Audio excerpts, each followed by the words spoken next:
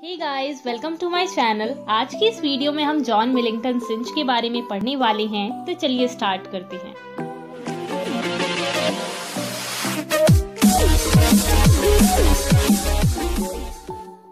सिंच का बर्थ 16 अप्रैल को 1871 में आयरलैंड के कैपिटल डुबलिन में हुआ था। ये एक आयरिश ड्रामेटिस्ट थे। इनको, इनके लिखे हुए एक प्ले के लिए सबसे ज़्यादा जाना जाता है। जिसका नाम है the playboy of the western world.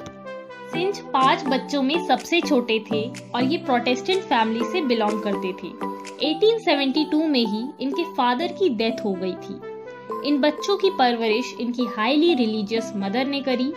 सिंच private school bus कुछ ही टाइम के लिए गए, क्योंकि इनकी हेल्थ इश्यूज़ की वजह से इनकी अटेंडेंस बहुत ज़्यादा कम हो गई। सिंच को हेल्थ इश्यूज़ होने की वजह से सिंच की मदर ने एक प्राइवेट ट्यूटर को हायर किया, जो सिंच को घर पर पढ़ाए। दिसंबर 1892 में सिंच ने ट्रिनिटी कॉलेज से डिग्री ली। सिंच म्यूज़िक में बहुत ज़्यादा इंटरेस्टेड थे। उनका एम म्यूजिशियन बनना था। सिंच को वॉयलिन की स्टडीज़ की वजह से रॉयल आयरिश एकेडमी से स्कॉलरशिप मिली कि वो म्यूज़िक की एडवांस स्टडी कर सकते हैं। इसी टाइम सिंच ने पोइट्री लिखना शुरू किया था।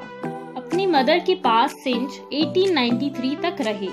फिर सिंच म्यूज़िक की आगे की स्टडीज़ करने के लिए जर्मनी चले गए।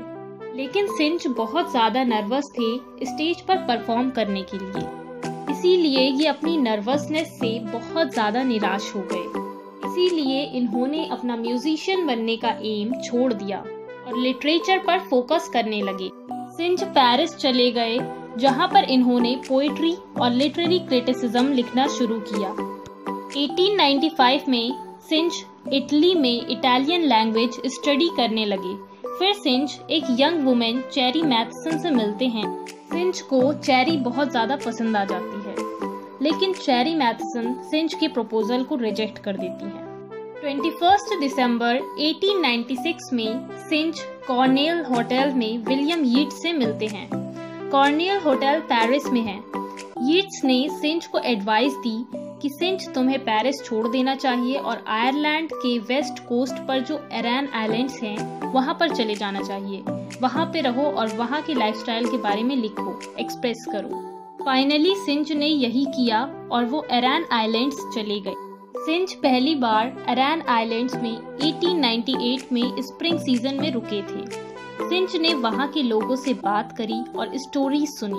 अरैन आइलैंड्स का जो पहला एक्सपीरियंस था, सिंच ने उसे अपने वर्क द अरैन आइलैंड्स में बताया है। द अरैन आइलैंड्स सिंच ने 1901 में लिखा था। 1901 में सिंच ने अपना first play when the moon has set भी लिखा था।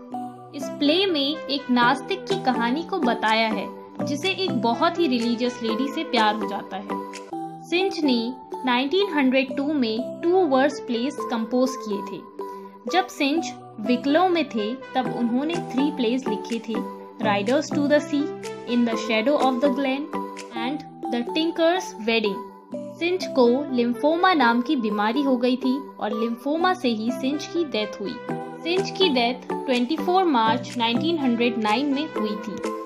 पूरे लाइफ टाइम सिंच ने राइटिंग में ही टाइम स्पेंड किया। इनकी राइटिंग्स बहुत ही रियलिस्टिक और पावरफुल होती थी। इनके वर्क्स हैं in the shadow of the glen riders to the sea the well of the saints the Aran Islands the playboy of the western world the tinker's wedding poems and translation Deirdre of the sorrows ये सारे works थे सिंच के।